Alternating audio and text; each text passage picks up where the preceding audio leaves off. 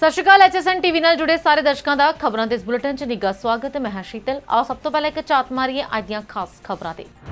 Gurdwara Nanaksar Fresno ਵਿਖੇ ਸ੍ਰੀ ਗੁਰੂ ਗ੍ਰੰਥ ਸਾਹਿਬ ਜੀ ਦੇ ਪ੍ਰਕਾਸ਼ ਪੁਰਬ ਤੇ ਵਿਸ਼ੇਸ਼ ਸਮਾਗਮ। ਫ੍ਰਿਜ਼ਨੋ ਦੇ ਵਿੱਚ ਸ਼ਹੀਦ ਜਸਵੰਤ ਸਿੰਘ ਖਾਲੜਾ ਦੀ ਬਰਸੀ 17 ਸਤੰਬਰ ਨੂੰ ਜਾਵੇਗੀ ਮਨਾਈ। ਅਮਰੀਕੀ ਔਰਤ ਦੇ ਕਤਲ ਕੇਸ ਦੇ ਵਿੱਚੋਂ ਭਾਰਤੀ ਮੂਲ ਦਾ ਸਾਬਕਾ ਪੁਲਿਸ ਅਧਿਕਾਰੀ ਬਰੀ। ਟੀਡੀ ਬੈਂਕ ਨੇ 2023 ਦੇ ਵਿੱਚ ਘਰਾਂ ਦੀ ਕੀਮਤਾਂ 25% ਤੱਕ ਡਿੱਗਣ ਦੀ ਕੀਤੀ ਪੇਸ਼ਨਗੋਈ। ਰੋਜ਼ਾਨਾ ਸ਼ਰਾਬ ਦਾ ਇੱਕ ਪੈਗ ਪੀਣ ਦੇ ਨਾਲ ਪੈ ਸਕਦੇ ਨੇ, ਲੈਣੇ ਤੇ ਦੇਣੇ। ਮੁਹੱਲੇਦਾਰ ਮੀਂਹ ਤੋਂ ਬਾਅਦ ਸੜਕਾਂ ਤੇ ਪਾਣੀ ਭਰ ਜਾਣ ਦੇ ਨਾਲ ਬੈਂਗਲੁਰੂ ਬਣਿਆ ਵੈਨਿਸ ਮਿਰਚੀ ਪਲੱਸ ਲਿਆਇਆ ਅਸਲੀ ਕ੍ਰਾਈਮ ਆਡੀਓ ਸ਼ੋ 1000 ਕਰੋੜ ਕੀ ਲਾਸ਼, ਨਵਾਜ਼ੁਦੀਨ ਸਿੱਦੀਕੀ ਨੇ ਦਿੱਤੀ ਆਵਾਜ਼। ਮੰਤਰੀ ਕੁਲਦੀਪ ਧਾਲੀਵਾਲ ਦੇ ਭਰੋਸੇ ਤੋਂ ਬਾਅਦ ਖੇਤੀਬਾੜੀ ਵਿਕਾਸ ਅਧਿਕਾਰੀਆਂ ਨੇ ਧਰਨਾ ਕੀਤਾ ਖਤਮ। ਪੰਜਾਬ ਦੇ ਵਿੱਚ ਗੈਂਗਸਟਰ ਕਲਚਰ ਖਤਮ ਕਰਨ ਨੂੰ ਲੈ ਕੇ ਡੀਜੀਪੀ ਗੌਰਵ ਯਾਦਵ ਨੇ ਪੁਲਿਸ ਅਧਿਕਾਰੀਆਂ ਨੂੰ ਮੁੜ ਦਿੱਤੇ ਨਿਰਦੇਸ਼। ਅੰਮ੍ਰਿਤਸਰ ਹਵਾਈ ਅੱਡੇ ਤੇ ਸੋਨੇ ਦੀ ਤਸਕਰੀ, ਦੁਬਈ ਤੋਂ ਆਏ ਯਾਤਰੀ ਦੀ ਅੰਡਰਵੀਅਰ ਦੇ ਵਿੱਚੋਂ 65 ਲੱਖ ਦਾ ਸੋਨਾ ਹੋਇਆ ਬਰਾਮਦ। ਕਾਂਗਰਸ ਨੇ ਕੈਪਟਨ ਦੀ ਪਤਨੀ ਦੇ ਖਿਲਾਫ ਖੋਲ੍ਹਿਆ ਮੋਰਚਾ। ਸਾਂਸਦ ਪ੍ਰਨੀਤ ਕੌਰ ਨੂੰ ਕਾਂਗਰਸ ਦੇ ਵਿੱਚੋਂ ਕੱਢਣ ਦੀ ਮੰਗ। ਨਿੱਕੂ ਨੇ ਪਰਿਵਾਰ ਸਣੇ ਸ਼੍ਰੀ ਹਰਮੰਦਰ ਸਾਹਿਬ ਟੇਕਿਆ ਮੱਥਾ, ਕਿਹਾ, ਪਟਕ ਗਿਆ ਸੀ ਮੈਂ, ਮੈਨੂੰ ਮਾਫ ਕਰ ਦਿਓ। ਹੁਣ ਖਬਰਾਂ ਵਿਸਥਾਰ ਨਾਲ। ਉਹਦਾ ਧੰਨ ਧੰਨ ਸ਼੍ਰੀ ਗੁਰੂ ਗ੍ਰੰਥ ਸਾਹਿਬ ਜੀ ਦੇ ਪਹਿਲੇ ਪ੍ਰਕਾਸ਼ ਪੁਰਬ ਨੂੰ ਦੁਨੀਆ ਭਰ ਦੇ ਵਿੱਚ ਮਨਾਇਆ ਜਾ ਰਿਹਾ ਹੈ। ਇਸੇ ਲੜੀ ਦੇ ਤਹਿਤ ਸੱਚਖੰਡ ਵਾਸੀ ਧੰਨ ਧੰਨ ਬਾਬਾ ਆਨੰਦ ਸਿੰਘ ਨਾਨਕਸਰ ਕਲੇਰਾਂ ਵਾਲਿਆਂ ਦੀ ਮਰਿਆਦਾਵਾਂ ਦੇ ਅਨੁਸਾਰ ਚਲਾਏ ਜਾ ਰਹੇ Gurdwara Nanaksar Cherry Avenue Fresno ਵਿਖੇ ਸ਼੍ਰੀ ਗੁਰੂ ਗ੍ਰੰਥ ਸਾਹਿਬ ਜੀ ਦੇ ਪਹਿਲੇ ਪ੍ਰਕਾਸ਼ ਪੁਰਬ ਨੂੰ ਮੁੱਖ ਰੱਖਦਿਆਂ ਵਿਸ਼ੇਸ਼ ਸਮਾਗਮ ਕੀਤੇ ਗਏ। ਇਸ ਸਮੇਂ ਲਗਾਤਾਰ ਚੱਲ ਰਹੇ ਅਖੰਡ ਪਾਠਾਂ ਦੀ ਲੜੀ ਦੇ ਦੌਰਾਨ ਇਸ ਵਿਸ਼ੇਸ਼ ਦਿਨ ਨੂੰ ਸਮਰਪਿਤ ਅਖੰਡ ਪਾਠ ਦੇ ਭੋਗ ਉਪਰੰਤ ਗੁਰੂ ਘਰ ਦੇ ਹਜ਼ੂਰੀ ਕੀਰਤਨੀ ਜਥਿਆਂ ਦੇ ਵੱਲੋਂ ਸੰਗਤਾਂ ਨੂੰ ਗੁਰਬਾਣੀ ਕੀਰਤਨ ਸਰਵਨ ਕਰਵਾਇਆ ਗਿਆ। ਇਸ ਉਪਰੰਤ ਪੰਜਾਬ ਤੋਂ ਆਏ ਸੰਤ ਬਾਬਾ ਅਮਰੀਕ ਸਿੰਘ ਪੰਜ ਪਾਣਿਆਂ ਵਾਲਿਆਂ ਨੇ ਕੀਰਤਨ ਕਰਦਿਆਂ ਸੰਖੇਪ ਸ੍ਰੀ ਗੁਰੂ ਗ੍ਰੰਥ ਸਾਹਿਬ ਜੀ ਦੇ ਰਚਨ ਤੋਂ ਲੈ ਕੇ ਪ੍ਰਕਾਸ਼ ਕਰਨ ਤੱਕ ਦਾ ਇਤਿਹਾਸ ਸਾਂਝਾ ਕਰਦਿਆਂ ਕੀਰਤਨ ਵੀ ਕੀਤਾ। ਅੰਤ ਗੁਰੂ ਘਰ ਦੀ ਸਟੇਜ ਤੋਂ ਬੋਲਦਿਆਂ ਭਾਈ ਹਰਭਜਨ ਸਿੰਘ ਨੇ ਗੁਰਦੁਆਰਾ ਸਾਹਿਬ ਦੇ ਆਰੰਭੇ ਕਾਰਜਾਂ ਦੇ ਵਿੱਚ ਨਵੀਂ ਇਮਾਰਤ ਦੀ ਉਸਾਰੀ ਦੇ ਬਾਰੇ ਵੇਰਵੇ ਸਾਂਝੇ ਕੀਤੇ। ਉਹਨਾਂ ਨੇ ਦੱਸਿਆ ਕਿ ਬਹੁਤ ਜਲਦ ਗੁਰੂ ਘਰ ਦੀ ਇਮਾਰਤ ਦੀ ਉਸਾਰੀ ਪੂਰੀ ਹੋ ਜਾਵੇਗੀ। ਇਸ ਸਮੇਂ ਭਾਈ ਦਾਰਾ ਸਿੰਘ ਸਿੱਧੂ, ਗੁਰੂ ਘਰ ਦੇ ਸੇਵਾਦਾਰ ਹਰਮਿੰਦਰ ਸਿੰਘ ਤੇ ਹਾਜ਼ਰ ਸੰਗਤਾਂ ਨੇ ਵੀ ਇਸ ਵੱਡੇ ਉਪਰਾਲੇ ਦੀ ਸ਼ਲਾਘਾ ਕੀਤੀ। ਸਮੁੱਚੇ ਪ੍ਰੋਗਰਾਮ ਦੇ ਦੌਰਾਨ ਗੁਰੂ ਦੇ ਲੰਗਰ, ਟੂਟ ਵਰਤੇ ਤੇ ਸੰਗਤਾਂ ਨੇ ਹਮੇਸ਼ਾ ਵੱਧ ਚੜ੍ਹ ਕੇ ਹਾਜ਼ਰੀਆਂ ਭਰੀਆਂ ਅੰਤ ਦੇ ਵਿੱਚ ਸਰਬੱਤ ਦੇ ਭਲੇ ਦੀ ਅਰਦਾਸ ਦੇ ਨਾਲ ਸਮਾਗਮ ਯਾਦਗਾਰੀ ਹੋ ਨਿਬੜਿਆ। ਉਧਰ Indo US heritage Fresno Khalra park senior citizen committee Jakara ਜਥੇਬੰਦੀ ਦੇ ਉਪਰਾਲੇ ਸਦਕਾ ਸ਼ਹੀਦ ਜਸਵੰਤ ਸਿੰਘ ਖਾਲੜਾ ਦੀ ਬਰਸੀ ਦੇ ਮੌਕੇ ਉਹਨਾਂ ਦੀ ਸ਼ਰਧਾਂਜਲੀ ਦੇਣ ਦੇ ਲਈ ਵਿਸ਼ੇਸ਼ ਪ੍ਰੋਗਰਾਮ। ਖਾਲੜਾ ਪਾਰਕ ਫ੍ਰਿਜ਼ਨੋ ਜੋ ਕਿ ਕਲਿੰਟਨ ਤੇ ਬਰਾਉਲੀ ਤੇ ਸਥਿਤ ਹੈ, ਉਹਨਾਂ ਦੇ ਵਿਖੇ 17 ਸਤੰਬਰ ਦਿਨ ਸ਼ਨੀਵਾਰ ਦੁਪਹਿਰ 2 ਵਜੇ ਹੋਣ ਜਾ ਰਿਹਾ ਹੈ। ਇਸ ਸ਼ਹੀਦੀ ਸਮਾਗਮ ਦੇ ਵਿੱਚ ਖਾਲੜਾ ਸਾਹਿਬ ਦੀ ਧਰਮ ਪਤਨੀ ਬੀਬੀ ਪਰਮਜੀਤ ਕੌਰ ਖਾਲੜਾ ਤੇ ਉਹਨਾਂ ਦੀ ਬੇਟੀ ਨਵਕਿਰਨ ਕੌਰ ਵੀ ਉਚੇਚੇ ਤੌਰ ਤੇ ਪਹੁੰਚ ਰਹੇ ਨੇ। ਇਸ ਮੌਕੇ 9/11 ਦੇ ਸਮੂਹ ਸ਼ਹੀਦਾਂ ਨੂੰ ਸ਼ਰਧਾਂਜਲੀ ਦੇਣ ਦੇ ਨਾਲ ਨਾਲ ਕਿਸਾਨੀ ਸੰਘਰਸ਼ ਦੇ ਦੌਰਾਨ ਸ਼ਹੀਦ ਹੋਏ ਕਿਸਾਨਾਂ ਨੂੰ ਵੀ ਯਾਦ ਕੀਤਾ ਜਾਵੇਗਾ। ਇਸ ਲਈ ਹਿਊਮਨ ਰਾਈਟਸ ਦੇ ਅਲੰਬਰਦਾਰ ਸ਼ਹੀਦ ਜਸਵੰਤ ਸਿੰਘ ਖਾਲੜਾ ਦੇ ਸ਼ਰਧਾ ਦੇ ਫੁੱਲ ਭੇਂਟ ਕਰਨ ਦੇ ਲਈ ਸਭਨਾ ਪਰਾਪਰ ਜਥੇਬੰਦੀਆਂ ਅਤੇ ਸਮੂਹ ਭਾਈਚਾਰੇ ਨੂੰ ਪਹੁੰਚਣ ਦੇ ਲਈ ਬੇਨਤੀ ਕੀਤੀ ਜਾਂਦੀ ਹੈ। ਇਸ ਪ੍ਰੋਗਰਾਮ ਸੰਬੰਧੀ ਖਾਲੜਾ ਪਾਰਕ ਦੇ ਵਿੱਚ Indo US heritage Fresno Khalra park senior citizen committee Jakara ਜਥੇਬੰਦੀ ਦੇ ਮੈਂਬਰਾਂ ਦੀ ਮੀਟਿੰਗ ਹੋਈ, ਜਿਸ ਵਿੱਚ ਲਵਾਰਸ ਲਾਸ਼ਾਂ ਕਹਿ ਕੇ ਸਾੜ ਦਿੱਤੇ ਗਏ, ਸਿੱਖ ਨੌਜਵਾਨਾਂ ਦਾ ਰਿਕਾਰਡ ਇਕੱਠਾ ਕਰਦਿਆਂ ਸ਼ਹੀਦ ਕਰ ਦਿੱਤੇ ਗਏ। ਜਸਵੰਤ ਸਿੰਘ ਖਾਲੜਾ ਦੇ ਸ਼ਹੀਦੀ ਦਿਹਾੜੇ ਦੇ ਆਯੋਜਨ ਨੂੰ ਲੈ ਕੇ ਵਿਚਾਰ ਵਟਾਂਦਰਾ ਕੀਤਾ ਗਿਆ। ਸਾਰੇ ਤਰ੍ਹਾਂ ਦੇ ਪ੍ਰਬੰਧ ਕਰਨ ਦੇ ਲਈ ਡਿਊਟੀਆਂ ਲਗਾਈਆਂ ਗਈਆਂ। ਪ੍ਰਬੰਧਕਾਂ ਨੇ ਕਿਹਾ ਕਿ ਸਮਾਗਮ ਦੇ ਲਈ ਸਭ ਤਰ੍ਹਾਂ ਦੀਆਂ ਤਿਆਰੀਆਂ ਮੁਕੰਮਲ ਨੇ। ਉਧਰ ਭਾਰਤੀ ਮੂਲ ਦੇ ਸਾਬਕਾ ਅਮਰੀਕੀ ਪੁਲਿਸ ਅਧਿਕਾਰੀ ਨੂੰ ਦੋਸ਼ ਮੁਕਤ ਕਰ ਦਿੱਤਾ ਗਿਆ, ਜਿਸ ਦੀ ਗੋਲੀ ਦੇ ਨਾਲ 2019 ਦੇ ਵਿੱਚ ਇੱਕ ਔਰਤ ਦੀ ਮੌਤ ਹੋ ਗਈ ਸੀ। ਟੈਕਸਾਸ ਦੇ ਇੱਕ ਅਦਾਲਤ ਨੇ ਰਵਿੰਦਰ ਸਿੰਘ ਨੂੰ ਬਰੀ ਕਰ ਦਿੱਤਾ ਹੈ। ਸਿੰਘ ਦੇ ਖਿਲਾਫ ਮੈਗੀ ਬਰੂਕਸ ਦੀ ਗੋਲੀ ਮਾਰ ਕੇ ਹੋਈ ਹੱਤਿਆ ਦੇ ਮਾਮਲੇ ਦੇ ਵਿੱਚ ਮੁਕੱਦਮਾ ਚੱਲ ਰਿਹਾ ਹੈ। ਟੈਰਨ ਦੇ ਜ਼ਿਲ੍ਹਾ ਫੌਜਦਾਰੀ ਵਕੀਲ ਦੇ ਦਫ਼ਤਰ ਨੇ ਸੋਮਵਾਰ ਨੂੰ ਅਦਾਲਤ ਦੇ ਫੈਸਲੇ ਤੋਂ ਬਾਅਦ ਇੱਕ ਬਿਆਨ ਜਾਰੀ ਕੀਤਾ। ਇਸ ਦੇ ਵਿੱਚ ਇਹ ਵੀ ਕਿਹਾ ਗਿਆ ਹੈ ਕਿ ਜਦੋਂ ਵੀ ਤਾਕਤ ਦੀ ਵਰਤੋਂ ਦੇ ਨਾਲ ਕਿਸੇ ਨਾਗਰਿਕ ਦੀ ਮੌਤ ਹੋ ਜਾਂਦੀ ਹੈ, ਤਾਂ ਉਹ ਮਾਮਲੇ ਨੂੰ ਅਦਾਲਤ ਵਿੱਚ ਲੈ ਜਾਂਦੇ ਨੇ। ਜੇਕਰ ਅਦਾਲਤ ਦੋਸ਼ ਤੈਅ ਕਰਦੀ ਹੈ, ਤਾਂ ਉਹ ਮੁਕੱਦਮਾ ਚਲਾਉਂਦੇ ਨੇ। ਜ਼ਿਲ੍ਹਾ ਵਕੀਲ ਦੇ ਦਫ਼ਤਰ ਨੇ ਕਿਹਾ ਕਿ ਅਦਾਲਤ ਨੇ 2019 ਦੇ ਵਿੱਚ ਬਰੂਕਸ ਦੀ ਮੌਤ ਦੇ ਨਾਲ ਸੰਬੰਧਿਤ ਤੱਥਾਂ ਨੂੰ ਸੁਣਿਆ ਤੇ ਗਵਾਹੀਆਂ ਅਤੇ ਸਬੂਤਾਂ ਦਾ ਮੁਲਾਂਕਣ ਕੀਤਾ ਤੇ ਫੈਸਲਾ ਕੀਤਾ ਕਿ ਰਵਿੰਦਰ ਸਿੰਘ ਦੋਸ਼ੀ ਨਹੀਂ ਹਨ। ਪੁਲਿਸ ਨੇ ਇਸ ਘਟਨਾ ਦੀ ਅਗਸਤ 2019 ਦੇ ਵਿੱਚ ਵੀਡੀਓ ਜਾਰੀ ਕੀਤੀ ਸੀ। ਵੀਡੀਓ ਦੇ ਵਿੱਚ ਦਿਸਦਾ ਹੈ ਕਿ ਇੱਕ ਕੁੱਤਾ ਮਹਿਲਾ ਵੱਲ ਦੌੜਦਾ ਹੈ ਅਤੇ ਅਧਿਕਾਰੀ ਔਰਤ ਨੂੰ ਬਚਾਉਣ ਦੇ ਲਈ ਕੁੱਤੇ ਦੇ ਗੋਲੀ ਚਲਾ ਦਿੰਦੇ ਨੇ ਤਾਂ ਉਹ ਔਰਤ ਨੂੰ ਵੀ ਲੱਗ ਜਾਂਦੀ ਹੈ। ਤਿੰਨ ਬੱਚਿਆਂ ਦੀ ਮਾਂ ਬਰੁਕਸ ਨੂੰ ਹਸਪਤਾਲ ਦੇ ਵਿੱਚ ਦਾਖਲ ਕਰਵਾਇਆ ਜਾਂਦਾ ਤੇ ਬਾਅਦ ਵਿੱਚ ਉਸ ਦੀ ਮੌਤ ਹੋ ਜਾਂਦੀ ਹੈ। ਉਸ ਦੀ ਮੌਤ ਦਾ ਕਾਰਨ ਕਤਲ ਦੱਸਿਆ ਗਿਆ ਸੀ। ਸਿੰਘ ਨੇ ਪ੍ਰਸ਼ਾਸਨਿਕ ਜਾਂਚ ਦੇ ਦੌਰਾਨ ਨਵੰਬਰ 2019 ਦੇ ਵਿੱਚ ਅਸਤੀਫਾ ਦੇ ਦਿੱਤਾ ਸੀ ਤੇ ਸਤੰਬਰ 2020 ਦੇ ਵਿੱਚ ਉਸ ਤੇ ਕਤਲ ਦਾ ਦੋਸ਼ ਲਗਾਇਆ ਗਿਆ ਸੀ। ਜੇਕਰ ਸਿੰਘ ਨੂੰ ਇਸ ਮਾਮਲੇ ਦੇ ਵਿੱਚ ਦੋਸ਼ੀ ਠਹਿਰਾਇਆ ਜਾਂਦਾ ਤਾਂ ਉਹਨਾਂ ਨੂੰ ਉਸ ਤੋਂ ਵੱਧ ਤੋਂ ਵੱਧ 2 ਸਾਲ ਦੀ ਜੇਲ੍ਹ ਅਤੇ 10000 ਅਮਰੀਕੀ ਡਾਲਰ ਤੱਕ ਦਾ ਜੁਰਮਾਨਾ ਹੋ ਸਕਦਾ ਸੀ। ਫੈਸਲੇ ਤੋਂ ਬਾਅਦ ਸਿੰਘ ਨੇ ਦੱਸਿਆ ਕਿ ਉਹ ਆਪਣੇ ਪਰਿਵਾਰ ਦਾ ਧੰਨਵਾਦ ਕਰਨਾ ਚਾਹੁੰਦੇ ਨੇ। ਉਹ ਬਰੂਕਸ ਦੇ ਪਰਿਵਾਰ ਦੇ ਨਾਲ ਵੀ ਹਮਦਰਦੀ ਪ੍ਰਗਟ ਕਰਦੇ ਨੇ। ਉਹਦਾ ਟੀਡੀ ਬੈਂਕ ਦੀ ਰਿਪੋਰਟ ਦੇ ਮੁਤਾਬਕ ਕੈਨੇਡਾ ਦੇ ਵਿੱਚ ਘਰਾਂ ਦੀ ਔਸਤ ਕੀਮਤ ਇਸ ਸਾਲ ਦੇ ਸ਼ੁਰੂ ਦੇ ਵਿੱਚ ਹੋ ਰਹੀਆਂ ਕੀਮਤਾਂ ਨਾਲੋਂ 2023 ਦੀ ਪਹਿਲੀ ਤਿਮਾਹੀ ਤੱਕ 20 ਤੋਂ 25 ਫੀਸਦੀ ਤੱਕ ਘਟ ਸਕਦੀ ਹੈ। ਸੋਮਵਾਰ ਨੂੰ ਜਾਰੀ ਕੀਤੀ ਗਈ ਰਿਪੋਰਟ ਦੇ ਅਨੁਸਾਰ ਮਾਰਗੇਜ ਤੇ ਵਿਆਜ ਦਰਾਂ ਦੇ ਵਿੱਚ ਵਾਧਾ ਹੋਣ ਤੋਂ ਬਾਅਦ ਗਰਮੀਆਂ ਦੇ ਵਿੱਚ ਘਰਾਂ ਦੀਆਂ ਕੀਮਤਾਂ ਦੇ ਵਿੱਚ ਕੁਝ ਗਿਰਾਵਟ ਦਰਜ ਕੀਤੀ ਗਈ। ਕਈਆਂ ਨੂੰ ਉਮੀਦ ਹੈ ਕਿ ਇਹ ਗਿਰਾਵਟ ਇਸ ਸਾਲ ਦੇ ਅੰਤ ਤੱਕ ਸਰਦੀਆਂ ਤੱਕ ਇਸੇ ਤਰ੍ਹਾਂ ਜਾਰੀ ਰਹੇਗੀ।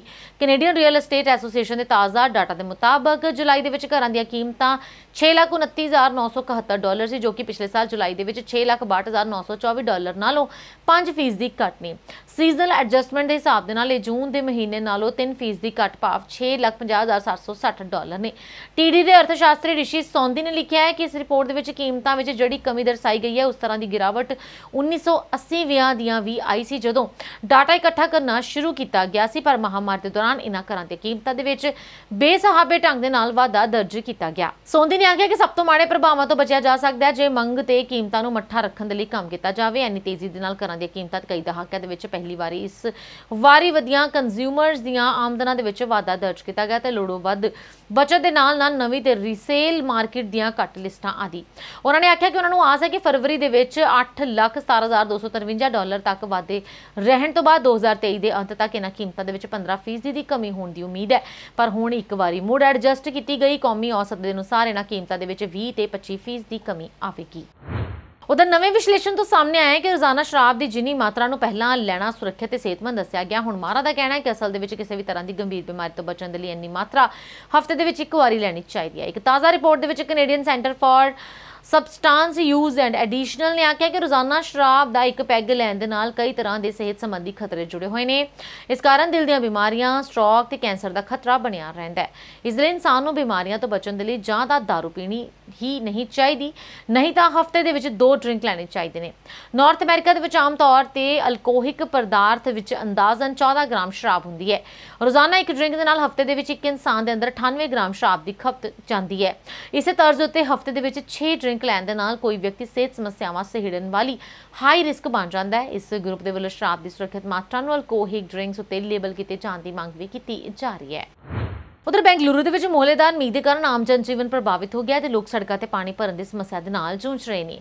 ਆਈਐਮਡੀ ਨੇ 3 ਸਤੰਬਰ ਤੱਕ ਪਿੰਡੂ ਤੇ ਸ਼ਹਿਰੀ ਬੈਂਗਲੁਰੂ ਦੇ ਵਿੱਚ ਹਲਕੀ ਤੋਂ ਦਰਮਿਆਨੀ ਮੀਂਹ ਦੀ ਭਵਿੱਖਬਾਣੀ ਕੀਤੀ ਹੈ। ਉੱਥੇ ਸ਼ਹਿਰ ਦੇ ਆਈਟੀ ਕੋਰੀਡੋਰ ਅਤੇ ਆਊਟਡੋਰ ਰਿੰਗ ਰੋਡ ਤੇ ਪਾਣੀ ਭਰ ਗਿਆ, ਜਿਸ ਕਾਰਨ ਭਾਰੀ ਟ੍ਰੈਫਿਕ ਜਾਮ ਹੋ ਗਿਆ ਆਊਟਰ ਰਿੰਗ ਰੋਡ ਦੇ ਵਿੱਚ ਪਾਣੀ ਭਰਨ ਤੇ ਜਿਹਾ ਨਜ਼ਾਰਾ ਸੀ ਜਿਵੇਂ ਇੱਥੇ ਕੋਈ ਵੱਡੀ ਨਦੀ ਵਹਿ ਰਹੀ ਹੋਵੇ। ਰਿਹਾਇਸ਼ੀ ਇਲਾਕੇ ਦੇ ਸੜਕਾਂ ਤੇ ਕਈ ਫੁੱਟ ਤੱਕ ਪਾਣੀ ਜਮ੍ਹਾਂ ਹੋ ਗਿਆ ਹੈ। ਇਸ ਦੇ ਵਿੱਚ ਕਾਰਾਂ ਤੈਰਦੀਆਂ ਨਜ਼ਰ ਆ ਰਹੀਆਂ ਨੇ। ਲੋਕਾਂ ਨੂੰ ਆਪਣੇ ਵਾਹਨਾਂ ਨੂੰ ਪਾਣੀ ਦੇ ਵਿੱਚੋਂ ਕੱਢਣ ਦੇ ਵਿੱਚ ਕਾਫੀ ਮੁਸ਼ਕਲ ਕਰਨੀ ਪੈ ਰਹੀ ਹੈ। ਤੁਹਾਨੂੰ ਦੱਸ ਦੇ ਕਿ ਬੈਂਗਲੁਰੂ ਦੇ ਕਈ ਇਲਾਕਿਆਂ ਦੇ ਵਿੱਚ ਮੁੱਲੇਦਾਰ ਮੀਂਹ ਤੋਂ ਬਾਅਦ ਸਕੂਲ ਅਤੇ ਕਾਲਜ ਬੰਦ ਕਰ ਦਿੱਤੇ ਗਏ ਨੇ। ਸੋਮਵਾਰ ਨੂੰ ਕਰਨਾਟਕ ਦੇ ਮੁੱਖ ਮੰਤਰੀ ਬਸਵਰਾਜ ਬੋਮਈ ਨੇ ਸ਼ਹਿਰ ਦੇ ਵਿੱਚ ਮੀਂਹ ਤੋਂ ਬਾਅਦ ਕਈ ਇਲਾਕਿਆਂ ਦਾ ਦੌਰਾ ਕੀਤਾ। ਰਾਜ ਦੇ ਵਿੱਚ ਪਿਛਲੇ ਕੁਝ ਦਿਨਾਂ ਤੋਂ ਭਾਰੀ ਮੀਂਹ ਪੈ ਰਿਹਾ ਹੈ। 1 ਜੂਨ ਤੋਂ ਕਰਨਾਟਕ ਦੇ ਵਿੱਚ 880 ਮਿਲੀਮੀਟਰ ਮੀਂਹ ਪਿਆ, ਜਿਸ ਦੇ ਨਾਲ 27 ਜ਼ਿਲ੍ਹੇ ਅਤੇ 187 ਪਿੰਡ ਪ੍ਰਭਾਵਿਤ ਹੋਏ ਨੇ। ਇਸ ਕਾਰਨ 29967 ਦੀ ਆਬਾਦੀ ਪ੍ਰਭਾਵਿਤ ਹੋਈ ਹੈ। ਕਰਨਾਟਕ ਸਰਕਾਰ ਦੇ ਅਨੁਮਾਨ ਦੇ ਮੁਤਾਬਕ ਸੂਬੇ ਦੇ ਵਿੱਚ ਜੂਨ ਮਹੀਨੇ ਤੋਂ ਲੈ ਕੇ ਹੁਣ ਤੱਕ ਮੀਂਹ ਦੇ ਨਾਲ ਸੰਬੰਧਿਤ ਘਟਨਾਵਾਂ ਦੇ ਕਾਰਨ 7647.3 ਕਰੋੜ ਰੁਪਏ ਦਾ ਨੁਕਸਾਨ ਹੋਇਆ ਹੈ। ਕਰਨਾਟਕ ਦੇ ਮਾਲ ਮੰਤਰੀ ਆਰ ਅਸ਼ੋਕ ਨੇ ਮੰਗਲਵਾਰ ਨੂੰ ਜਾਣਕਾਰੀ ਦਿੰਦਿਆਂ ਕਿਹਾ ਕਿ ਜੂਨ ਤੋਂ ਲੈ ਕੇ ਹੁਣ ਤੱਕ ਮੀਂਹ ਦੇ ਨਾਲ ਸੰਬੰਧਿਤ ਘਟਨਾਵਾਂ ਦੇ ਵਿੱਚ ਕੁੱਲ 96 ਲੋਕਾਂ ਦੀ ਮੌਤ ਹੋਈ ਹੈ, ਜਦਕਿ ਤਿੰਨ ਲੋਕ ਲਾਪਤਾ ਨੇ। ਉਧਰ ਭਾਰਤ ਦੀ ਨੰਬਰ 1 ਸਿਟੀ ਸੈਂਟਰਿਕ 뮤직 ਅਤੇ ਐਂਟਰਟੇਨਮੈਂਟ ਕੰਪਨੀ ਮਿਰਚੀ ਨੇ ਸਿਰਫ ਮਿਰਚੀ ਪਲੱਸ ਐਪ ਤੇ ਆਪਣੀ ਨਵੀਂ ਆਡੀਓ ਰਿਲੀਜ਼ 1000 ਕਰੋੜ ਕੀ ਲਾਸ਼ ਨੂੰ ਲਾਂਚ ਕੀਤਾ ਹੈ। ਇਸ ਨੂੰ ਮਸ਼ਹੂਰ ਅਭਿਨੇਤਾ ਨਵਾਜ਼ੁਦੀਨ ਸਿੱਦੀਕੀ ਨੇ ਆਪਣੀ ਆਵਾਜ਼ ਦਿੱਤੀ ਹੈ ਤੇ ਅਸਲੀ ਫਿਕਸ਼ਨ ਵਾਲੀ 6 ਐਪੀਸੋਡ ਦੀ ਇਹ ਆਡੀਓ ਸੀਰੀਜ਼ ਸੱਚੀਆਂ ਘਟਨਾਵਾਂ, ਅਸਲ ਪਦਾਰਥਾਂ ਤੇ ਪ੍ਰੇਰਿਤ ਹੈ। ਨਵਾਜ਼ੁਦੀਨ ਸਿੱਦੀਕੀ ਦਾ ਜ਼ਬਰਦਸਤ ਨਰੇਸ਼ਨ ਸੁਣਨ ਵਾਲਿਆਂ ਰੋਮਾਂਚ ਨਾਲ ਭਰ ਦੇਵੇਗਾ ਕਿਉਂਕਿ ਇਸ ਦੇ ਵਿੱਚ ਰਿਸ਼ਤਿਆਂ ਦੀਆਂ ਪੇਚੀਦਗੀਆਂ ਕਾਰਨ ਹੋਏ ਗੁਨਾਹ ਨਾਲ ਬਾਖੂਬੀ ਵਰਣਨ ਕੀਤਾ ਗਿਆ ਹੈ। 25 ਤੋਂ 35 ਮਿੰਟ ਦੇ ਐਪੀਸੋਡ ਦੇ ਵਿੱਚ ਸਰੋਤੇ ਅੰਦਾਜ਼ਾ ਲਗਾਉਂਦੇ ਰਹਿ ਜਾਣਗੇ ਕਿ ਉਹਨਾਂ ਦੇ ਵਿੱਚੋਂ ਇੱਕ ਦੀ ਦੁਖਦਾਈ ਮੌਤ ਦਾ ਕਾਰਨ ਕੀ ਹੈ। ਨਵਾਜ਼ੁਦੀਨ ਦੇ ਦਿਲਚਸਪ ਨਰੇਸ਼ਨ ਯਾਦਗਾਰੀ ਬੈਕਗ੍ਰਾਉਂਡ ਸਕੋਰ ਦਾ ਮੇਲ ਮਿਰਚੀ ਦਾ ਓਰੀਜਨਲ ਕੰਪੋਜੀਸ਼ਨ ਹੈ, ਜੋ ਕਿ ਸਰੋਤਿਆਂ ਨੂੰ ਸੁਣਨ ਦਾ ਇੱਕ ਸ਼ਾਨਦਾਰ ਅਨੁਭਵ ਪ੍ਰਦਾਨ ਕਰੇਗਾ। ਇਨ੍ਹਾਂ ਨੇ ਸਰੋਤੇ। ਨਵਾਜ਼ੁਦੀਨ ਨੂੰ ਬਿਲਕੁਲ ਬਾਲੀਵੁੱਡ ਦੇ ਸਟਾਈਲ ਵਿੱਚ ਕਹਾਣੀ ਬਿਆਨ ਕਰਦੇ ਸੁਣਨਗੇ, ਜਿਸ ਦੇ ਵਿੱਚ ਉਹ ਡਾਰਕ ਹਿਊਮਰ ਦਾ ਤੜਕਾ ਲਗਾਉਣਗੇ ਤੇ ਇਸ ਤਰ੍ਹਾਂ 1000 ਕਰੋੜ ਕੀ ਲਾਸ਼, ਇੱਕ ਲਾਜ਼ਮੀ ਸੁਣੀ ਜਾਣ ਵਾਲੀ ਸੀਰੀਜ਼ ਹੈ। ਇਸ ਸ਼ੋਅ ਦੀ ਲਾਂਚ ਦੇ ਮੌਕੇ ਈਐਨਆਈਐਲ ਮਿਰਚੀ ਦੇ ਐਮਡੀ ਤੇ ਸੀਈਓ ਪ੍ਰਸ਼ਾਂਤ ਪਾਂਡੇ ਨੇ ਕਿਹਾ ਕਿ ਇਹ ਪ੍ਰਮੁੱਖ multi format multi contract band ਦੇ ਤੌਰ ਦੇ ਉੱਤੇ ਹਮੇਸ਼ਾ ਆਪਣੇ ਸਰੋਤਿਆਂ ਦੇ ਲਈ ਬਿਹਤਰੀਨ ਮਨੋਰੰਜਨ ਲਿਆਉਣ ਦੇ ਲਈ ਨਵੇਂ-ਨਵੇਂ ਤਰੀਕੇ ਲੱਭਦਾ ਹੈ। ਸਾਡੀ ਨਵੀਂ ਲਾਂਚ ਕੀਤੀ ਐਪ ਮਿਰਚੀ ਪਲੱਸ ਜ਼ਰੀਏ। ਅਸੀਂ ਭਾਰਤ ਵਿੱਚ ਕਹਾਣੀਆਂ ਦੇ ਲਈ ਪਿਆਰ ਨੂੰ ਸਲਾਉਣਾ ਚਾਹੁੰਦੇ ਹਾਂ ਤੇ ਵੱਖ-ਵੱਖ ਸ਼ੈਲੀਆਂ ਜਿਵੇਂ ਕਿ ਕ੍ਰਾਈਮ ਰੋਮਾਂਸ ਹਾਰਰ ਤੇ ਥ੍ਰਿਲਰ ਦੇ ਵਿੱਚ ਜ਼ਨੂਨੀ ਆਡੀਓ ਸ਼ੋਜ਼ ਬਣਾ ਕੇ ਇਸ ਨੂੰ ਆਪਣੇ ਸਰੋਤਿਆਂ ਦੇ ਲਈ ਕਹਾਣੀਆਂ ਦਾ ਅਸਲ ਅੱਡਾ ਬਣਾਉਣਾ ਚਾਹੁੰਦੇ ਹਾਂ। ਮਿਰਚੀ ਦਾ ਨਵਾਂ ਅਸਲੀ ਕ੍ਰਾਈਮ ਸ਼ੋ 1000 ਕਰੋੜ ਦੀ ਲਾਸ਼ ਅਜਿਹੀਆਂ ਰੋਮਾਂਚਿਕ ਕਹਾਣੀ ਦੇ ਵਿੱਚ ਪਹਿਲਾ ਜੋ ਕਿ ਅਸੀਂ ਆਪਣੇ ਸਰੋਤਿਆਂ ਦੇ ਲਈ ਲਿਆਉਣਾ ਚਾਹੁੰਦੇ ਹਾਂ, ਸਿਰਫ ਮਿਰਚੀ ਐਪ ਪਲੱਸ ਤੇ। ਇਸ ਸ਼ੋਅ ਦੇ ਬਾਰੇ Indira Rangarajan national content director EN IL Mirchi ਨੇ ਕਿਹਾ ਕਿ ਅਸੀਂ ਆਪਣੀ ਪਹਿਲੀ audio web series show 1000 crore ਦੀ ਲਾਸ਼ ਲਾਂਚ ਕਰਦੇ ਹੋਏ ਉਤਸ਼ਾਹਿਤ ਹਾਂ। ਬਾਲੀਵੁੱਡ ਦੇ ਬਿਹਤਰੀਨ ਅਦਾਕਾਰ ਨਵਾਜ਼ੁਦੀਨ ਸਦੀਕੀ ਦੀ ਆਵਾਜ਼ ਇਹ ਸ਼ੋਅ ਸਾਡੀ ਉਮੀਦ ਤੋਂ ਮੁਤਾਬਕ ਅਪਰਾਧ ਤੇ ਥ੍ਰਿਲਰ ਪਸੰਦ ਕਰਨ ਵਾਲਿਆਂ ਦੇ ਲਈ ਇੱਕ ਸੌਗਾਤ ਹੋਵੇਗਾ। ਇਹ ਉਹਨਾਂ ਰੋਮਾਂਚਿਕ ਆਡੀਓ ਸ਼ੋਜ਼ ਦੀ ਲਾਈਨ ਦੇ ਵਿੱਚ ਪਹਿਲਾ ਜੋ ਸਾਡੇ ਸਾਰੇ ਸਰੋਤਿਆਂ ਦੇ ਲਈ ਹੈ। ਇਸ ਲਈ ਇਸ ਨੂੰ ਜ਼ਰੂਰੀ ਸੁਣੋ। ਉਧਰ ਪੰਜਾਬ ਖੇਤੀਬਾੜੀ ਵਿਭਾਗ ਦੇ ਮੁੱਖ ਦਫ਼ਤਰ ਅੱਗੇ ਪਿਛਲੇ ਕਈ ਦਿਨਾਂ ਤੋਂ ਧਰਨੇ ਤੇ ਬੈਠੇ ਖੇਤੀਬਾੜੀ ਵਿਕਾਸ ਅਧਿਕਾਰੀਆਂ ਨੇ ਖੇਤੀਬਾੜੀ ਮੰਤਰੀ ਕੁਲਦੀਪ ਸਿੰਘ ਧਾਲੀਵਾਲ ਦੇ ਵੱਲੋਂ ਦਿੱਤੇ ਭਰੋਸੇ ਤੋਂ ਬਾਅਦ ਆਪਣਾ ਧਰਨਾ ਸਮਾਪਤ ਕਰ ਲਿਆ ਹੈ। ਖੇਤੀਬਾੜੀ ਮੰਤਰੀ ਨੇ ਇਸ ਤੋਂ ਪਹਿਲਾਂ ਅੱਜ ਖੇਤੀਬਾੜੀ ਵਿਭਾਗ ਦੇ ਅਧੀਕ ਮੁੱਖ ਸਕੱਤਰ ਸਰਬਜੀਤ ਸਿੰਘ, ਸਕੱਤਰ ਅਰਸ਼ਦੀਪ ਸਿੰਘ ਥਿੰਦ ਡਾਇਰੈਕਟਰ ਗੁਰਵਿੰਦਰ ਸਿੰਘ ਦੀ ਮੌਜੂਦਗੀ ਦੇ ਵਿੱਚ ਪ੍ਰਦਰਸ਼ਨ ਕਰ ਰਹੇ ਖੇਤੀਬਾੜੀ ਵਿਕਾਸ ਅਧਿਕਾਰੀ ਦੇ ਨੁਮਾਇੰਦਗੀਆਂ ਦੇ ਨਾਲ ਮੀਟਿੰਗ ਵੀ ਕੀਤੀ। ਮੀਟਿੰਗ ਦੌਰਾਨ ਖੇਤੀਬਾੜੀ ਮੰਤਰੀ ਕੁਲਦੀਪ ਸਿੰਘ ਧਾਲੀਵਾਲ ਨੇ ਉਹਨਾਂ ਨੂੰ ਭਰੋਸਾ ਦਿੱਤਾ ਕਿ ਉਹਨਾਂ ਦੀਆਂ ਜਾਇਜ਼ ਮੰਗਾਂ ਮੰਨ ਲਈਆਂ ਜਾਣਗੀਆਂ। ਇਸ ਤੋਂ ਬਾਅਦ ਖੇਤੀਬਾੜੀ ਮੰਤਰੀ ਖੁਦ ਧਰਨੇ ਵਾਲੀ ਥਾਂ ਤੇ ਪਹੁੰਚੇ, ਭਰੋਸਾ ਦਿੱਤਾ ਹੈ ਕਿ ਖੇਤੀਬਾੜੀ ਅਧਿਕਾਰੀ ਦੇ ਮੰਗਾਂ ਸੰਬੰਧੀ ਅਧਿਕਾਰੀਆਂ ਨੂੰ ਨਿਰਦੇਸ਼ ਜਾਰੀ ਕਰ ਦਿੱਤੇ ਗਏ ਹਨ। ਉਧਰ ਆਈਪੀਐਸ ਅਧਿਕਾਰੀ ਗੌਰਵ ਯਾਦਵ ਤੇ ਡੀਜੀਪੀ ਬਣਨ ਤੋਂ ਬਾਅਦ ਪੰਜਾਬ ਪੁਲਿਸ ਦੇ ਗੈਂਗਸਟਰਾਂ ਤੇ ਦਬਦਬਾ ਕਾਇਮ ਹੋ ਗਿਆ ਹੈ। ਗੌਰਵ ਯਾਦਵ ਨੇ ਕਮਾਂਡ ਸੰਭਾਲਦਿਆਂ ਹੀ ਸਾਰੇ ਸੀਨੀਅਰ ਪੁਲਿਸ ਅਧਿਕਾਰੀਆਂ ਦੇ ਨਾਲ-ਨਾਲ ਖੁਦ ਫੀਲਡ ਵਿੱਚ ਜਾ ਕੇ ਪੁਲਿਸ ਅਧਿਕਾਰੀਆਂ ਦਾ ਮਨੋਬਲ ਵਧਾਇਆ, ਜਿਸ ਦੇ ਨਤੀਜੇ ਹੁਣ ਸਾਹਮਣੇ ਆ ਰਹੇ ਨੇ। ਡੀਜੀਪੀ ਗੌਰਵ ਯਾਦਵ ਨੇ ਫਿਰ ਕਿਹਾ ਕਿ ਮੁੱਖ ਮੰਤਰੀ ਭਗਵੰਤ ਮਾਨ ਨੇ ਗੈਂਗਸਟਰਾਂ ਦੇ ਖਿਲਾਫ ਸਖਤ ਤੋਂ ਸਖਤ ਕਾਰਵਾਈ ਕਰਨ ਦੇ ਨਿਰਦੇਸ਼ ਦਿੱਤੇ ਨੇ, ਜਿਸ ਦੇ ਮੱਦੇਨਜ਼ਰ ਸੂਬੇ ਦੇ ਪੁਲਿਸ ਆਉਣ ਵਾਲੇ ਦਿਨਾਂ ਦੇ ਵਿੱਚ ਹੋਰ ਚੰਗੇ ਨਤੀਜੇ ਦੇਵੇਗੀ ਉਹਨਾਂ ਨੇ ਮੁੜ ਸੂਬੇ ਦੇ ਸਾਰੇ ਪੁਲਿਸ ਕਮਿਸ਼ਨਰਾਂ ਤੇ ਐਸਐਸਪੀਜ਼ ਨੂੰ ਨਿਰਦੇਸ਼ ਦਿੱਤੇ ਨੇ ਕਿ ਉਹ ਗੈਂਗਸਟਰਾਂ ਤੇ ਉਹਨਾਂ ਦੇ ਨਾਲ ਸੰਬੰਧਿਤ ਅਪਰਾਧ ਦੇ ਵਿੱਚ ਸਖਤ ਤੋਂ ਸਖਤ ਕਾਰਵਾਈ ਕਰਨ ਤਾਂ ਕਿ ਗੈ ਪੰਜਾਬ ਨੂੰ ਗੈਂਗਸਟਰ ਕਲਚਰ ਤੋਂ ਮੁਕਤ ਕੀਤਾ ਜਾ ਸਕੇ ਤੇ ਪੁਲਿਸ ਦੇ ਉੱਚ ਅਧਿਕਾਰੀ ਵੀ ਇਹ ਮੰਨ ਰਹੇ ਨੇ ਕਿ ਪਿਛਲੇ 3 ਮਹੀਨਿਆਂ ਦੇ ਵਿੱਚ ਪੁਲਿਸ ਨੂੰ ਗੈਂਗਸਟਰਾਂ ਦੇ ਖਿਲਾਫ ਜੰਗੀ ਸਫਲਤਾ ਮਿਲੀ ਹੈ। ਸਿੱਧੂ ਮੂਸੇਵਾਲੇ ਦੇ ਕਤਲकांड ਤੋਂ ਬਾਅਦ ਇੱਕ ਸਮਾਂ ਅਜਿਹਾ ਵੀ ਆਇਆ ਸੀ ਜਦੋਂ ਸੂਬਾ ਪੁਲਿਸ ਬੈਕਫੁੱਟ ਤੇ ਚਲੀ ਗਈ ਸੀ, ਪਰ ਪਿਛਲੀਆਂ ਘਟਨਾਵਾਂ ਦੇ ਵਿੱਚ ਪੰਜਾਬ ਪੁਲਿਸ ਨੇ ਇੱਕ ਵਾਰ ਫਿਰ ਫਰੰਟ ਫੁੱਟ ਤੇ ਲਿਆ ਖੜਾ ਕੀਤਾ ਅਤਵਾਦ ਦੇ ਖਿਲਾਫ ਸਫਲਤਾਪੂਰਵਕ ਜੰਗ ਜਿੱਤਣ ਤੋਂ ਬਾਅਦ ਹੁਣ ਸੂਬਾ ਪੁਲਿਸ ਦੇ ਸਾਹਮਣੇ ਮੁੱਖ ਚੁਣੌਤੀ ਗੈਂਗਸਟਰ ਕਲਚਰ ਨੂੰ ਖਤਮ ਕਰਨਾ ਸੀ, ਕਿਉਂਕਿ ਗੈਂਗਸਟਰਾਂ ਦੇ ਸੰਬੰਧ ਅਤਵਾਦੀਆਂ ਦੇ ਨਾਲ ਵੀ ਬਣੇ ਹੋਏ ਨੇ। ਗੌਰਵ ਯਾਦਵ ਨੇ ਡੀਜੀਪੀ ਬਣਨ ਤੋਂ ਬਾਅਦ ਸਭ ਤੋਂ ਪਹਿਲਾਂ ਸੀਨੀਅਰ ਪੁਲਿਸ ਅਧਿਕਾਰੀਆਂ ਤੇ ਜਵਾਨਾਂ ਦਾ ਮਨੋਬਲ ਉੱਚਾ ਚੁੱਕਣ ਦਾ ਕੰਮ ਕੀਤਾ ਹੈ। ਡੀਜੀਪੀ ਨੇ ਸਾਰੀਆਂ ਰੇਂਜਾਂ ਦੇ ਵਿੱਚ ਜਾ ਕੇ ਪੁਲਿਸ ਅਧਿਕਾਰੀਆਂ ਦੇ ਨਾਲ ਮੀਟਿੰਗਾਂ ਕੀਤੀਆਂ, ਜਿਨ੍ਹਾਂ ਦੇ ਵਿੱਚ ਆਈਜੀ ਡੀਆਈਜੀ ਅਤੇ ਐਸਐਸਪੀਸ ਦੇ ਰੈਂਕ ਦੇ ਅਧਿਕਾਰੀਆਂ ਦੇ ਨਾਲ ਨਾਲ ਸਾਰੇ ਪੁਲਿਸ ਸੁਪਰਡੈਂਟ ਤੇ ਹੋਰਾਂ ਨੂੰ ਵੀ ਸ਼ਾਮਲ ਕੀਤਾ ਗਿਆ। ਇਸ ਦੇ ਵਿੱਚ ਉਹਨਾਂ ਦੇ ਸਖਤ ਸ਼ਬਦਾਂ ਦੇ ਵਿੱਚ ਪੁਲਿਸ ਅਧਿਕਾਰੀਆਂ ਨੂੰ ਕਹਿ ਦਿੱਤਾ ਹੈ ਕਿ ਗੈਂਗਸਟਰ ਖਿਲਾਫ ਆਪਣੀ ਕਾਰਗੁਜ਼ਾਰੀ ਵਿਖਾਉਣ ਤੇ ਨਸ਼ਾ ਸਮਗਲਰਾਂ ਦੇ ਖਿਲਾਫ ਜ਼ੀਰੋ ਟੋਲਰੈਂਸ ਦੀ ਨੀਤੀ ਅਪਣਾਈ ਜਾਵੇ। ਪੰਜਾਬ ਪੁਲਿਸ ਨੇ ਬੀਤੇ ਦਿਨੀ ਹੀ ਅੰਮ੍ਰਿਤਸਰ ਦੇ ਵਿੱਚ ਇੱਕ ਮੁਕਾਬਲੇ ਦੇ ਵਿੱਚ ਸ਼ੂਟਰ ਮਨਪ੍ਰੀਤ ਮੰਨੂ ਤੇ ਜਗਰੂਪ ਰੂਪਾ ਨੂੰ ਮਾਰ ਦਿੱਤਾ ਸੀ। ਦੋਵਾਂ ਸ਼ੂਟਰਾਂ ਦੇ ਮਾਰੇ ਜਾਣ ਤੋਂ ਬਾਅਦ ਪੰਜਾਬ ਪੁਲਿਸ ਦਾ ਮਨੋਬਲ ਹੋਰ ਵਧਿਆ ਸੀ। ਉਧਰ ਪੰਜਾਬ ਦੇ ਵਿੱਚ ਅੰਮ੍ਰਿਤਸਰ ਜ਼ਿਲ੍ਹੇ ਦੇ ਵਿੱਚ ਸ੍ਰੀ ਗੁਰੂ ਗ੍ਰਾਮਦਾਸ ਜੀ ਇੰਟਰਨੈਸ਼ਨਲ 에ਅਰਪੋਰਟ ਤੇ ਕਸਟਮ ਵਿਭਾਗ ਨੇ 1.24 ਕਿਲੋਗ੍ਰਾਮ ਸੋਨਾ ਫੜਿਆ। ਇਹ ਸੋਨਾ ਦੁਬਈ ਤੋਂ ਆਏ ਇੱਕ ਯਾਤਰੀ ਤੋਂ ਮਿਲਿਆ, ਜਿਸ ਨੂੰ ਗ੍ਰਿਫਤਾਰ ਕਰ ਲਿਆ ਗਿਆ। ਜਾਣਕਾਰੀ ਦੇ ਅਨੁਸਾਰ ਯਾਤਰੀ ਨੇ ਸੋਨੇ ਦੀ ਚੇਨ ਆਪਣੇ ਅੰਡਰਵੀਅਰ ਦੇ ਵਿੱਚ ਲੁਕੋ ਕੇ ਰੱਖੀ ਹੋਈ ਸੀ, ਪਰ ਉਹ ਗ੍ਰੀਨ ਚੈਨਲ ਤੋਂ ਲੰਘਦੇ ਸਮੇਂ ਫੜਿਆ ਗਿਆ। ਮੇਰੀ ਜਾਣਕਾਰੀ ਦੇ ਮੁਤਾਬਕ ਦੁਬਈ ਤੋਂ ਆਉਣ ਵਾਲੀ 에ਅਰ ਇੰਡੀਆ ਐਕਸਪ੍ਰੈਸ ਉਡਾਨ ਦੇ IX 192 ਦੇ ਵਿੱਚ ਸਵਾਰ ਇੱਕ ਯਾਤਰੀ ਨੂੰ ਹਵਾਈ ਅੱਡੇ ਤੇ ਚੈਕਿੰਗ ਦੇ ਲਈ ਰੋਕਿਆ ਗਿਆ ਸੀ, ਜਿਵੇਂ ਹੀ ਯਾਤਰੀ ਸੁਰੱਖਿਆ ਜਾਂਚ ਲਈ ਬਣੇ ਗ੍ਰੀਨ ਚੈਨਲ ਤੋਂ ਲੰਘਣ ਲੱਗਾ ਤਾਂ ਕਸਟਮ ਵਿਭਾਗ ਦੀ ਟੀਮ ਨੇ ਉਸ ਨੂੰ ਫੜ ਲਿਆ। ਯਾਤਰੀ ਤੋਂ ਉਸ ਦੇ ਕੋਲ ਕਿਸੇ ਵੀ ਤਰ੍ਹਾਂ ਦੀ ਮੈਟਲ ਦੀ ਵਸਤੂ ਹੋਣ ਬਾਰੇ ਪੁੱਛਿਆ ਗਿਆ ਤਾਂ ਉਸਨੇ ਕੋਈ ਸਪਸ਼ਟ ਜਵਾਬ ਨਹੀਂ ਦਿੱਤਾ। ਜਦੋਂ ਉਸ ਦੀ ਤਲਾਸ਼ੀ ਲਈ ਗਈ ਤਾਂ ਉਸ ਦੇ ਅੰਡਰਵੀਅਰ ਦੇ ਵਿੱਚੋਂ ਤਿੰਨ ਟਰਾਂਸਪੋਰਟ ਪਾਊਚ ਮਿਲੇ, ਜਿਨ੍ਹਾਂ ਦੇ ਵਿੱਚ ਸੋਨੇ ਦੀਆਂ ਚੇਨਾਂ ਸਨ। ਸ਼ੁੱਧ ਸੋਨੇ ਦੀਆਂ ਇਹਨਾਂ ਚੇਨਾਂ ਦੇ ਵਿੱਚ ਵਜ਼ਨ 1.24 ਕਿਲੋਗ੍ਰਾਮ ਨਿਕਲਿਆ। ਇਹਨੇ ਸੋਨੇ ਦੀ ਅੰਤਰਰਾਸ਼ਟਰੀ ਕੀਮਤ 65.6 ਲੱਖ ਰੁਪਏ ਦੱਸੀ ਜਾਂਦੀ ਹੈ। ਸੋਨੇ ਨੂੰ ਜਾਂਚ ਲਈ ਜ਼ਬਤ ਕਰ ਲਿਆ ਗਿਆ। ਇਸ ਦੇ ਨਾਲ ਹੀ ਕਸਟਮ ਵਿਭਾਗ ਯਾਤਰੀ ਦੇ ਲਗਾਤਾਰ ਪੁੱਛਗਿੱਛ ਕਰ ਰਿਹਾ ਤੇ ਉਹ ਇੰਨਾ ਸੋਨਾ ਕਿਉਂ ਅਤੇ ਕਿੱਥੋਂ ਲਿਆਇਆ ਉਧਰ ਕਾਂਗਰਸ ਪਾਰਟੀ ਦੇ ਵਿੱਚ ਕਲੇਸ਼ ਰੁਕਣ ਦਾ ਨਾਮ ਨਹੀਂ ਲੈ ਰਿਹਾ। ਹੁਣ ਪੰਜਾਬ ਦੇ ਕਾਂਗਰਸੀਆਂ ਨੇ ਸਾਬਕਾ ਸੀਐਮ ਕੈਪਟਨ ਅਮਰਿੰਦਰ ਸਿੰਘ ਦੀ ਪਤਨੀ ਸਾਂਸਦ ਪਰਨੀਤ ਕੌਰ ਦੇ ਖਿਲਾਫ ਮੋਰਚਾ ਖੋਲ ਦਿੱਤਾ ਹੈ। ਪਰਨੀਤ ਨੂੰ ਕਾਂਗਰਸ ਦੇ ਵਿੱਚੋਂ ਕੱਢਣ ਦੀ ਮੰਗ ਕੀਤੀ ਜਾ ਰਹੀ ਹੈ। ਸੂਤਰਾਂ ਦੇ ਮੁਤਾਬਕ ਬੀਤੇ ਦਿਨੀ ਇਸ ਸੰਬੰਧ ਵਿੱਚ ਚੰਡੀਗੜ੍ਹ ਦੇ ਵਿੱਚ ਹੋਈ ਮੀਟਿੰਗ ਦੇ ਵਿੱਚ ਇਸ ਸੰਬੰਧੀ ਮਤਾ ਪਾਸ ਕੀਤਾ ਗਿਆ। ਇਹ ਮੀਟਿੰਗ ਕਾਂਗਰਸ ਇੰਚਾਰਜ ਹਰੀਸ਼ ਚੌਧਰੀ ਦੀ ਮੌਜੂਦਗੀ ਦੇ ਵਿੱਚ ਪ੍ਰਧਾਨ ਅਮਰਿੰਦਰ ਸਿੰਘ, ਰਾਜਾ ਵੜਿੰਗ ਤੇ ਕਾਂਗਰਸ ਵਿਧਾਇਕ ਦਲ ਦੇ ਆਗੂ ਪ੍ਰਤਾਪ ਸਿੰਘ ਬਾਜਵਾ ਦੀ ਅਗਵਾਈ ਦੇ ਵਿੱਚ ਹੋਈ।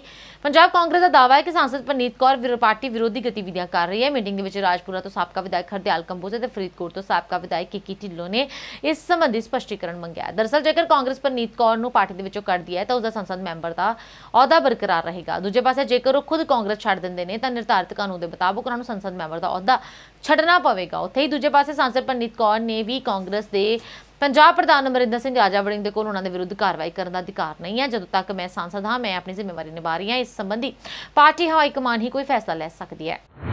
ਉਧਰ ਪੰਜਾਬੀ ਗਾਇਕ ਇੰਦਰਜੀਤ ਸਿੰਘ ਨਿੱਕੂ ਵੀਡੀਓ ਵਿਵਾਦ ਤੋਂ ਬਾਅਦ ਪਹਿਲੀ ਵਾਰ ਆਪਣੇ ਪਰਿਵਾਰ ਦੇ ਸਮੇਤ ਸ੍ਰੀ ਹਰਮੰਦਰ ਸਾਹਿਬ ਪਹੁੰਚੇ। ਉੱਥੇ ਉਹਨਾਂ ਨੇ ਪਰਿਵਾਰ ਦੇ ਸਮੇਤ ਮੱਥਾ ਟੇਕਿਆ ਤੇ ਆਪਣੀ ਗਲਤੀ ਮੰਨਦਿਆਂ ਗੁਰੂ ਦੀ ਸ਼ਰਨ ਦੇ ਵਿੱਚ ਆਉਣ ਦੀ ਗੱਲ ਕਹੀ। ਇਸ ਦੇ ਨਾਲ ਹੀ ਦੁਨੀਆ ਭਰ ਦੇ ਵਿੱਚ ਮਿਲੇ ਪਿਆਰ ਤੇ ਧੰਨਵਾਦ ਵੀ ਕੀਤਾ। ਨਿੱਕੂ ਮੰਗਲਵਾਰ ਦੇਰ ਰਾਤ ਹਰਮੰਦਰ ਸਾਹਿਬ ਪਹੁੰਚੇ ਤੇ ਉਹਨਾਂ ਨੇ ਕਾਫੀ ਸਮਾਂ ਸ੍ਰੀ ਦਰਬਾਰ ਸਾਹਿਬ ਹਰਮੰਦਰ ਸਾਹਿਬ ਵਿਖੇ ਬਿਤਾਇਆ। ਗਾਇਕ ਨਿੱਕੂ ਨੇ ਕਿਹਾ ਕਿ ਗੁੰਮਰਾਹ ਵਿਅਕਤੀ ਆਪਣੀ ਮੰਜ਼ਿਲ ਤੇ ਪਹੁੰਚ ਹੀ ਜਾਂਦਾ ਹੈ। ਅੱਜ ਮੈਂ ਬਾਬੇ ਨਾਨਕ ਦੇ ਦਰ ਤੇ ਪਹੁੰਚਿਆ। ਉਹਨਾਂ ਨੇ ਸ੍ਰੀ ਗੁਰੂ ਨਾਨਕ ਦੇਵ ਜੀ ਦਾ ਵੀ ਧੰਨਵਾਦ ਕੀਤਾ ਤੇ ਦੱਸਿਆ ਕਿ ਉਹਨਾਂ ਨੂੰ ਪੂਰੀ ਦੁਨੀਆ ਤੋਂ ਪਿਆਰ ਮਿਲ ਰਿਹਾ। ਉਹਨਾਂ ਦੀ ਵੀਡੀਓ ਵਾਇਰਲ ਹੋਣ ਤੋਂ ਬਾਅਦ ਲੋਕਾਂ ਨੇ ਉਹਨਾਂ ਨੂੰ ਫੋਨ ਕਰਕੇ ਕੇ ਮਦਦ ਕਰਨ ਦੀ ਪੇਸ਼ਕਸ਼ ਕੀਤੀ। ਉਹਨਾਂ ਨੇ ਕਿਹਾ ਕਿ ਮੈਨੂੰ ਪੈਸੇ ਨਹੀਂ ਚਾਹੀਦੇ। ਉਹਨਾਂ ਨੇ ਲੋਕਾਂ ਨੂੰ ਅਪੀਲ ਕੀਤੀ ਹੈ ਕਿ ਕਿਸੇ ਦੇ ਜਾਲ ਦੇ ਵਿੱਚ ਫਸ ਕੇ ਕਿਸੇ ਵੀ ਫਰਜ਼ੀ ਵਿਅਕਤੀ ਦੇ ਖਾਤੇ ਵਿੱਚ ਪੈਸੇ ਨਾ ਪਾ ਦੇਣ। ਇਸ ਤੋਂ ਅੱਗੇ ਉਹਨਾਂ ਨੇ ਇਹ ਵੀ ਦੱਸਿਆ ਕਿ ਵੀਡੀਓ ਵਾਇਰਲ ਹੋਣ ਤੋਂ ਬਾਅਦ ਕੁਝ ਲੋਕਾਂ ਨੇ ਉਸ ਦਾ ਵਿਰੋਧ ਵੀ ਕੀਤਾ ਸੀ, ਪਰ ਗੁਰੂ ਸਾਹਿਬਾਨ ਦੀ ਬਖਸ਼ਿਸ਼ ਸਦਕਾ ਪੂਰੀ ਦੁਨੀਆ ਤੋਂ ਉਹਨਾਂ ਨੂੰ ਪਿਆਰ ਮਿਲ ਰਿਹਾ। ਉਹਨਾਂ ਨੇ ਕਿਹਾ ਕਿ ਸ਼੍ਰੀ ਹਰਮੰਦਰ ਸਾਹਿਬ ਵਿਖੇ ਦਰਸ਼ਨ ਦੌਰਾਨ ਉਹਨਾਂ ਨੇ ਸਭ ਦਾ ਧੰਨਵਾਦ ਕੀਤਾ ਤੇ ਆਪਣੇ ਫੈਨਸ ਦਾ ਵੀ ਅਰਦਾਸ ਕੀਤੀ ਹੈ। ਤੁਹਾਨੂੰ ਦੱਸ ਦਈਏ ਕਿ ਕੁਝ ਦਿਨ ਪਹਿਲਾਂ ਇੰਦਰਜੀਤ ਨਿੱਕੂ ਦੀ ਇੱਕ ਵੀਡੀਓ ਸੋਸ਼ਲ ਮੀਡੀਆ ਤੇ ਵਾਇਰਲ ਹੋਈ ਸੀ, ਜਿਸ ਵਿੱਚ ਉਹ ਇੱਕ ਡੇਰੇ ਦੇ ਅੰਦਰ ਇੱਕ ਬਾਬੇ ਅੱਗੇ ਮੱਥਾ ਟੇਕ ਰਹੇ ਸਨ। ਇਸ ਵੀਡੀਓ ਦੇ ਵਿੱਚ ਇੰਦਰਜੀਤ ਨਿੱਕੂ ਦੇ ਬਾਬੇ ਤੋਂ ਕੰਮ ਨਾ ਮਿਲਣ ਦਾ ਦਰਦ ਜ਼ਾਹਰ ਕੀਤਾ ਸੀ। ਇਸ ਵੀਡੀਓ ਦੇ ਵਿੱਚ ਨਿੱਕੂ ਬਾਬੇ ਦੇ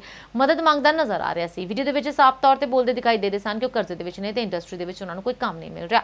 ਜਿਸ ਦੇ ਚੱਲਦੇ ਉਹ ਮਾਨਸਿਕ ਤਣਾਅ ਦੇ ਵਿੱਚ ਆ ਚੁੱਕੇ ਨੇ। ਇਸ ਵੀਡੀਓ ਦੇ ਵਾਇਰਲ ਹੋਣ ਤੋਂ ਬਾਅਦ ਨਿੱਕੂ ਦਾ ਕਾਫੀ ਵਿਰੋਧ ਵੀ ਹੋਇਆ ਸੀ, ਪਰ ਪੰਜਾਬੀ ਗਾਇਕ ਉਹਨਾਂ ਦੇ ਹੱਕ ਦੇ ਵਿੱਚ ਆਏ ਤੇ ਉਹਨਾਂ ਨੇ ਮਦਦ ਦਾ ਵਾਅਦਾ ਕੀਤਾ। ਇਸ ਦੇ ਨਾਲ ਹੀ ਨਾਲ ਖਬਰਾਂ ਦੇ ਇਸ ਬੁਲਟਨ ਦੇ ਵਿੱਚ ਅੱਜ ਫਿਲਹਾਲ ਇੰਨਾ ਹੀ। ਆਪਣੀ ਦੋਸਤ ਸ਼ੀਤਲ ਨੂੰ ਦਿਓ ਇਜਾਜ਼ਤ ਤੇ ਤੁਸੀਂ ਜੁੜੇ ਰਹੋ ਐਚਐਸਐਨ ਨਿਊਜ਼ ਦੇ ਨਾਲ।